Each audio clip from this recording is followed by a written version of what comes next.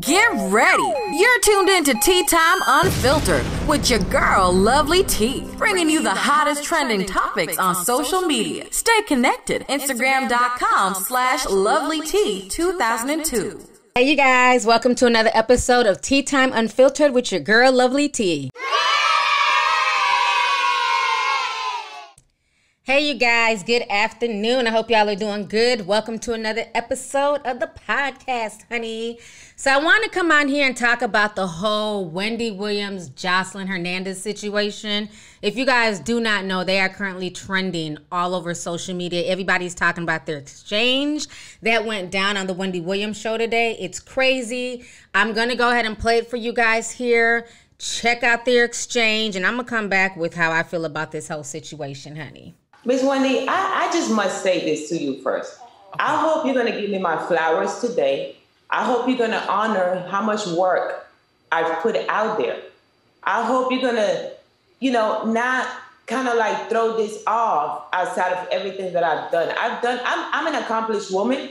And I just feel like every time I come to your show, you don't give me those flowers now, you know? And you're, Wendy, you're 35 years my, my city. Ow, yes. I should, I should I should get those flowers Shade. by you. I should feel I should feel I should feel wanted by people like you. Not just me, all the other young girls. You that are you are wanted by me. I always say that you're very We- entertaining. we- and but we feel we feel we feel like you be trying us. We feel like you don't be really rooting for us. You know, we feel like and especially with me, every time I come on your show, you always want to compare me to another broad. I don't need to be compared. I've, I've made my own brand. I'm, I've made my own brand for years. You know, I've been out here for the, the past decade. I got my own show. I franchised my own show to another network. It's I, I have the number one show in the country. I, I have know. an actual cabaret no, show. no, you have the number one show feel on like Zeus, and you got renewed for a third season, which is to be commended. The number one show in the country, Miss Wendy. It's okay. I- and I just want you to know that I want you to know how I feel. I want you to know that I feel like every time I come on here, You feel don't really undervalued? well, so do I. Okay, that's it, it- you know what, Joseline, because you're part of pop culture, this is what I do.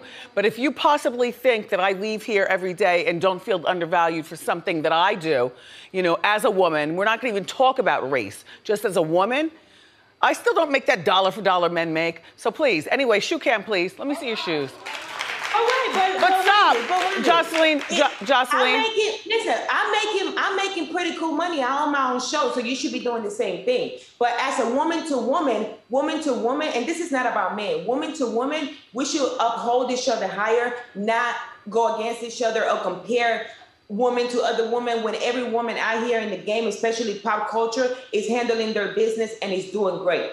It's doing amazing. There's no other girl that came from television that came from. I came from the gutter. I came from the streets. I came from the gutter. Give me that respect, Miss Wendy Williams. We love you, but at the same time, you have to do better. You're not in a. You're not in an abusive relationship anymore. You don't deal with that man anymore. You should be in a better place. And when people come on your show, especially Black culture, you should be nicer to us, the ladies. You should respect us. You should give us our flowers while we're here, and you should tell us how proud you are of what we've done in the streets. Well, I'm not proud of all. And what I've been through makes me even harder on young women. Like, you can do better. Now, can we get back to the show at hand? Can I see your shoes, please? If that's how you want to do it, Miss Wendy. Yes, that's I'll how I want to do it. But you have nothing to say about what, what my feelings. I just said what I said. I don't apologize for anything. This is what I do.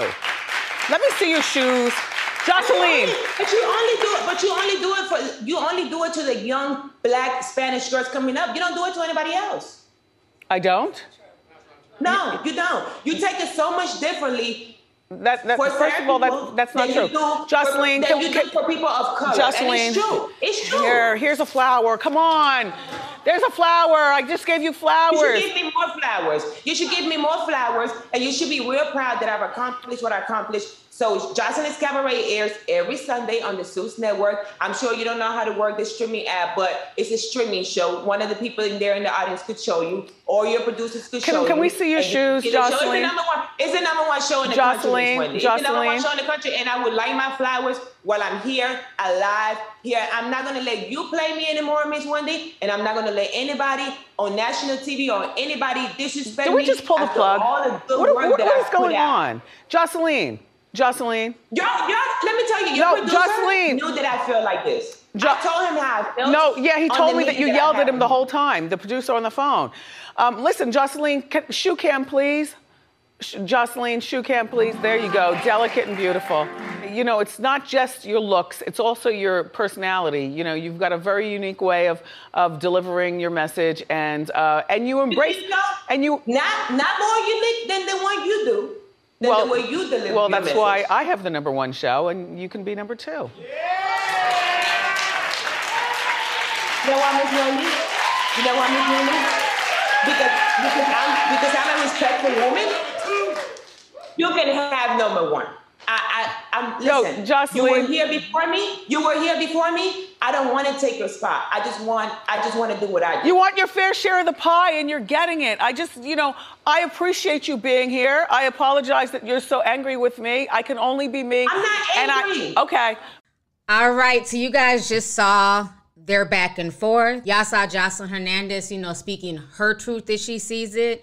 Y'all seen Wendy Williams replying back to her. Wendy even had the nerd honey to, to grab some flowers and throw it at Joseline. Like, bitch, here goes your damn flowers. I'ma give them to you now. It's true. It's true. Here, here's a flower. Come on.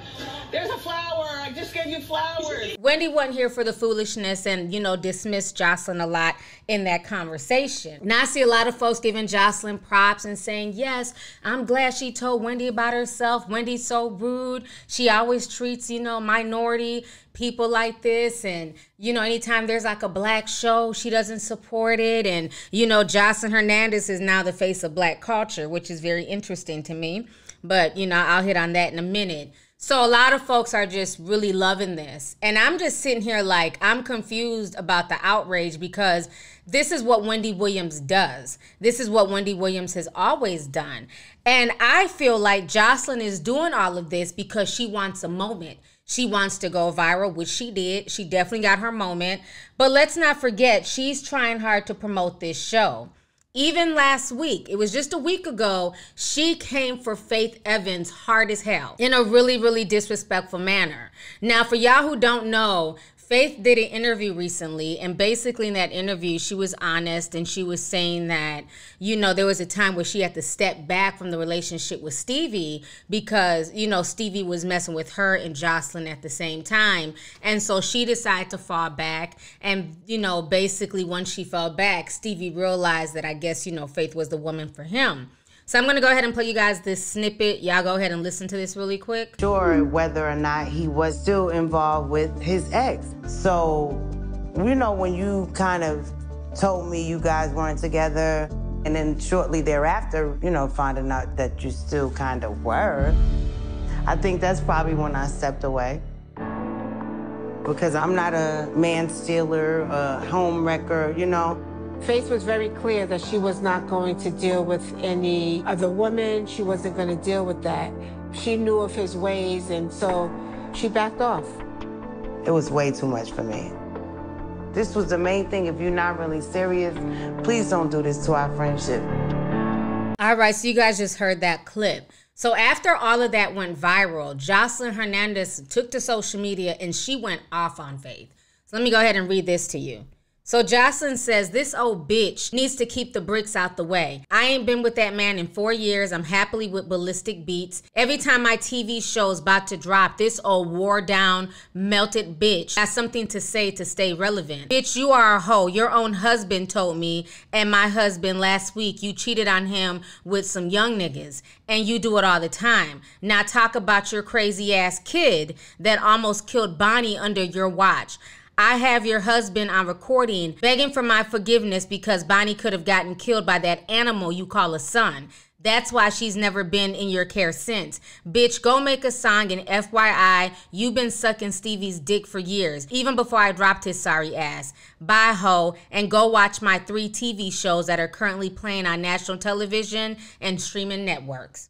Okay, so that is what she had to say to Faith Evans just a few days ago. This is the same woman crying about, you know, uplifting other women and supporting other women. So then once that went viral, Stevie J jumped in. This is what Stevie had to say.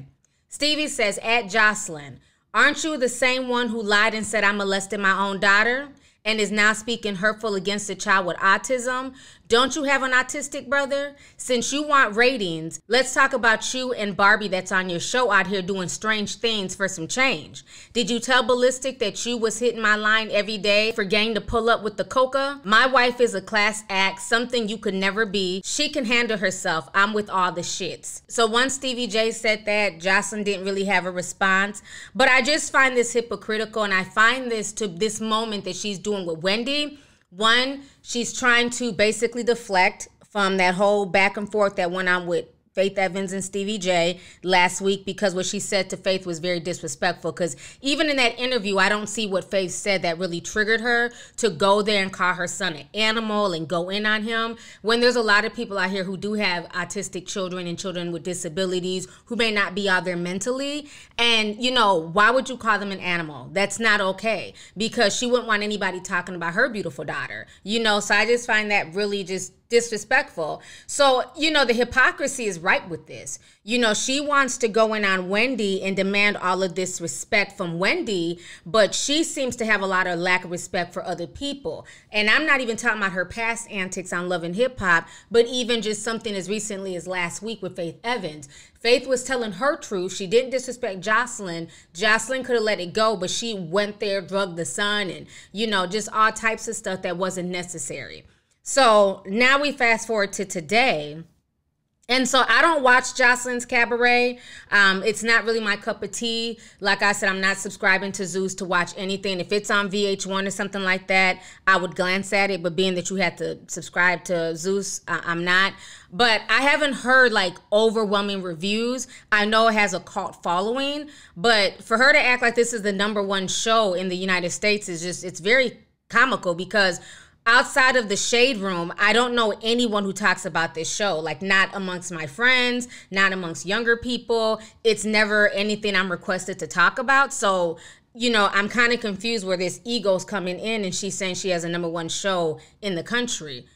No, maybe on Zeus, but not in the country. Wendy wasn't wrong about that. You know, that's a whole different level there. You know, you could be number one on Zeus, but to be number one in the country, uh, yeah, those are two different stages. So I just found that interesting. So I went to go and find out, well, what is this show about? You know, is it about women empowerment? Is she helping to get girls out the strip club? You know, what is the premise of this show? I understand that things with the word cabaret tends to be a show. And when I think cabaret, I think of strip teases and Moulin Rouge. So I went to go look it up to find out the whole series synopsis. And so this is what they're saying on Wikipedia. They're saying Joseline's Cabaret chronicles the everyday life of Joseline Hernandez as she struggles to launch a cabaret show in Miami, Florida. The show is set in Give Miami, a strip club where Joseline worked a decade ago, and provides an inside look into everyday life of strippers, sex workers, and is reminiscent of the 1998 Players Club. The dancers featured in the cabaret appear as supporting cast members in confessionals and interview segments throughout the series. This include Daisy Joseline's friend and self-professed bottom bitch, as well as dancers, and then they go on to name the dancers. Then they talk about how it was also set in Miami because I guess she's on season two. So this one they're saying is set in a mansion in Atlanta, Georgia, and chronicles Joseline's second attempt to launch a cabaret show. And the show introduces a reality competition element where 10 girls living together in a mansion with Joseline and Balistic. The top four dancers are cast in the cabaret performance, with an overall winner being given $10,000 in cash and an opportunity to perform at a cabaret in Las Vegas. So that is the premise of the show. And the drama comes in because they're saying that, you know, the strippers of today are not classy like the strippers of yesteryear. And she's supposed to be training them to be better, you know, strippers and carry themselves a certain way that a cabaret show would carry themselves as opposed to just a regular strip club. So, long story short, this show is not about women empowerment. Like I'm confused as to why she's acting like this is a show that's about to benefit the entire black community. You know, it's a, it's another ratchet show like Love and Hip Hop. You know, every TV show out here has their fan base. I don't think there's anything wrong with the show per se or the concept.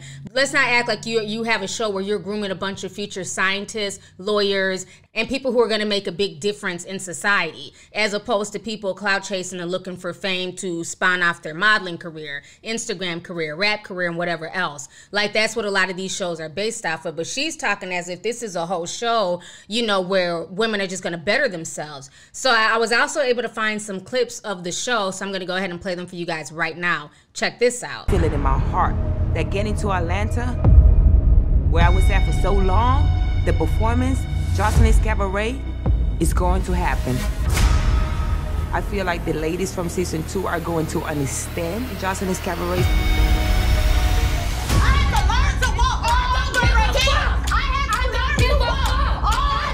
You got me fucked up tonight, bitch. Get out of the house. I know you ain't coughing at me. I open up my pussy and ski on you bitches. May I? Ah! Only the strong fucking survive. You lucky I'm a different woman. I want to hear how y'all gonna move forward. Because if you guys fight one more time, I'm sending one of y'all home. I expect you ladies to understand this. You can change your life. And you can get out of the, gutter. Are you crying? I am. What's going on? Why are you crying? And it hit home for me. So Come step up. Come step up. Let, let me let me hear you. What what happened? I was saying it's the gutter is a rough place, you know, Okay. and you got to do everything, any and everything to make it, you know, every situation, in- including aborting twins. You feel me to better yourself because I do want to leave you, but You just had an abortion? Twins? twins. Yeah, double homicide. Bitch, No, I'm sorry. I forgot about you when you walked up here, bitch. Bitch, ain't forget about me. Y'all bitches over here talking Forgot about me. Yeah, about- so loose pussy forgot about- ass. Bitch, how you know that? Uh, clearly you can't hold a baby in it. Oh shit! Drag this bitch through Damn, the bitch just got an abortion. And she popping that pussy right in front of my face. I was like, what blood clot gonna come out of there?